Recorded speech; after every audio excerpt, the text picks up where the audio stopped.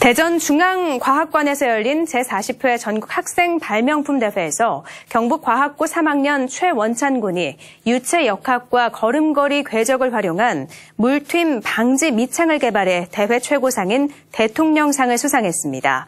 또 안동 녹전초등학교 4학년 최지연 양이 최우수상을 수상했고 녹전초등학교는 학교 단체상을 받았습니다.